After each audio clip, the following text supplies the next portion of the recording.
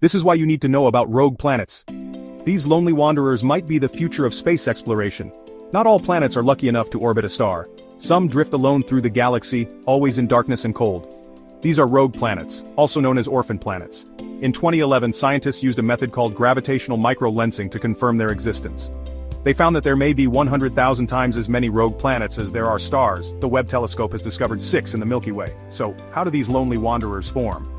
They might get ejected from their star system by bigger planets or stars. Or they could form directly from gas and dust, but they are not massive enough to ignite nuclear fusion.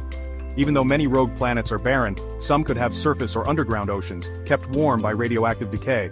And there may be a large satellite system similar to Jupiter around the gaseous wandering planet, the tidal interaction between the satellite group and the wandering planet can retain heat. Imagine finding life on one of these planets. One day, we might use rogue planets as stepping stones for interstellar travel. Stay curious, space enthusiasts.